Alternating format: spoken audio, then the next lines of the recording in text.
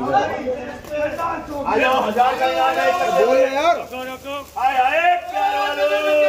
कौन तो भाई? नाम कर देंगे तुम्हारा भी हमारा भी। नाम मत करो हैं। अभी से नाम मत करो। बोलो बारह तेरह चौदह साढ़े चौदह पौने पंद्रह पंद्रह सवा पंद्रह साढ़े पंद्रह। पौने सोलह सोलह सौ हो गए भाई साहब। सोलह सौ जाए? सवा सवा सोलह सौ। इक्यावन! इनमें नखड़ो यार मेरे को। थोड़ा चाहे सौ रुपए मन घाटे लिखवा के ये सवा सोलह साढ़े सोलह पौने सत्रह। पौने सत्रह बेटा। पौने सत्रह जाए। बेटा लू पौने सत्रह।